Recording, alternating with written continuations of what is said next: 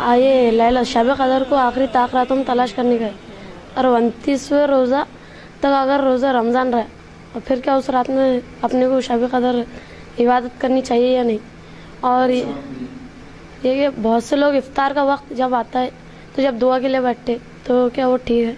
एक सवाल किया कि शब कदर को हमको उनतीस तक अगर रोज़े है तो हम हाँ बिल्कुल पूरा तलाश करना है। ईद की रात से पहले बार आपको इस तलाश नहीं करना क्योंकि उनतीस की रात जो है वो पहले आ जाती है, रोज़ा बाद में होता फिर चाँद रात होती है, ठीक है? तो उनतीस तक आप शब कदर तलाश करेंगे। उसके बाद जो रात आती, जो उनतीस का रोज़ा गुजरने के बाद आएँगी, जब चाँद दिख सकता या फिर तीस के बाद आएँगी, चाँद दिख सकता, वो कदर नहीं होती है। उस रात की कोई फजीलत नहीं, लोग उसको क्या बोलते हैं? लैलतुल जायज़ा, और उसमें भी जागते हैं, ऐसी कोई रात सुन्नत से लैलतुल जायज़ा साबित नहीं है। हाँ ये अलग बात है कि बहुत से सूफिया और बहुत से उलमा कहते हैं, ये होता है, लेकिन उन सूफियों के हज़ार साल बोलने से भी और के दिन और रात चिल्लाने से भी कोई चीज़ शरीयत का हिस्सा नहीं बन सकती। ठीक है? तो लिहाजा बोलते होंगे लोग, वो उनका अपना मसला है, बोलते रहे वो। सुन्नत से सिर्फ़ ये रातें जागना। हाँ आप वसल्लम तो पूरी दस रातें जागते।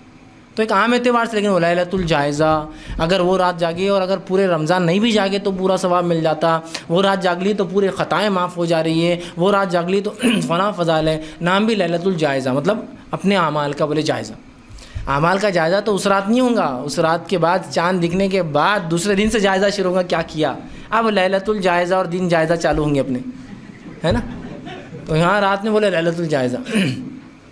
और बाद में पूरे जायज़े ख़त्म। क्योंकि उस दिन लेके उसने ख़त्म कर दिया। ऐसी कोई रात की फजीलत लैलतुल जायज़ा की साबित नहीं है। जी, दूसरा सवाल क्या था आपका? हाँ इफ़ार के वक्त बहुत से लोग भाई ने कहा, दुआ के लिए बैठते हैं। बिल्कुल इफ़ार के वक्त तो बिल्कुल कोई मसला नहीं। इफ़ार के वक्त बिल्कुल, चाहे आप थोड़ी देर पहले से बैठे इफ़ार के बिल्कुल आयन वक्त बैठे, कोई मसला नहीं। लेकिन इफ़ार का माना है कि सूरज गुरूब होने से पहले वो दुआएँ करें, क्योंकि तब तक वो रोज़ेदार रहता है, ठीक? तो लिहाजा वो जल्दी बैठे या थोड़ा देर से बैठे इसमें, बहरहाल कोई हर्ज नहीं, वो उसके सहूलत, उसके हालात पे डिपेंड है। और अगर रोज़ेदार बैठ के भी दुआ ना करे चलते फिरते काम करते ऐसे औरतें हैं तो भी दुआ दुआ है। दुआ तो कभी भी चलते फिरते उठते, बैठते, किसी भी हालत में हो सकती है किसी भी जगह हो सकती। दुआ एक ऐसी इबादत है कि जिसकी मतलब कोई हदूद ही नहीं रखी अल्लाह ने, उसकी कोई लिमिटेशंस नहीं है। हती कि आदम अलैहिस्सलाम ने जो पहला काम किया, अपनी तख्लीक के बाद जो इबादत की, वो दुआ ही थी। आपने छीका और अल्लाह ने कहा, आदम अलहमदिल्ला कहो। फरिश्तों ने जवाब दिया और कहा, ये तुम्हारे नस्ल में जब लोग छीकेंगे, ये उसका जवाब, और जब छीकने वाले को फरिश्तों ने जवाब दिया, ये तुम्हारी कौम का या तुम्हारे लोगों का एक दूसरे में जवाब होगा। या हम अकल्ला फरिश्तों ने कहा।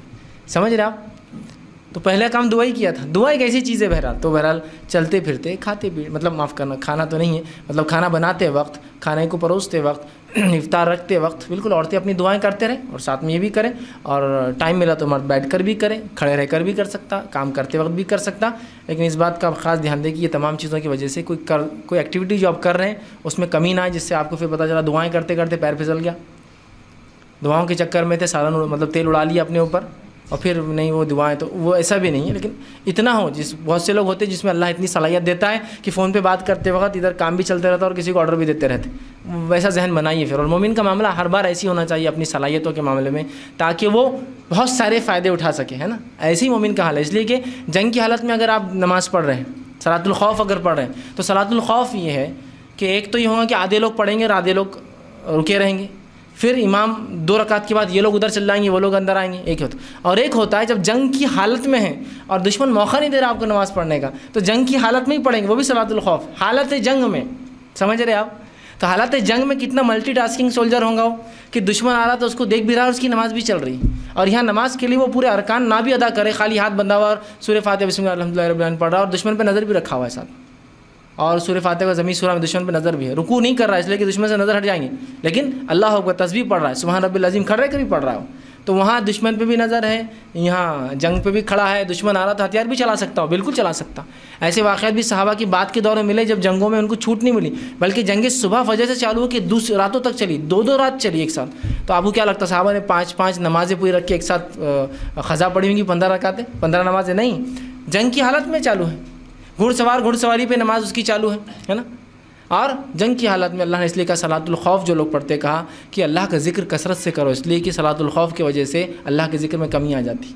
तो कहा, उसके अलावा भी ज़िक्र ज़्यादा करना, ताकि वो कंपनसेट हो जाए, वो नमाज़ में जो कमी आई खुशू नहीं रहा, चूँकि अब देखते हुए कर रहा है है ना? तो मोमिन ऐसी होना चाहिए अपने मिजाज में। मतलब वो अपने फ़ायदों को देखते हुए दीन और दुनिया सब हासिल कर रहा है एक साथ। तो ज़ाहिर सी बात है, दुनिया के काम भी कर रहे हैं, अल्लाह का ज़िक्र भी चालू है, दुआएँ भी आप कर रहे हैं बहुत सारे काम हो सकते हैं, लेकिन अगर आप में वो सलाहियत नहीं है तो फिर उस मामले में दुनिया में एहतियात कीजिए, वरना कहीं अपने जिसम को आप नुकसान, एक इबादत के नाम पर ना पहुँचा दे। इस मामले में बड़ी एहतियात करें।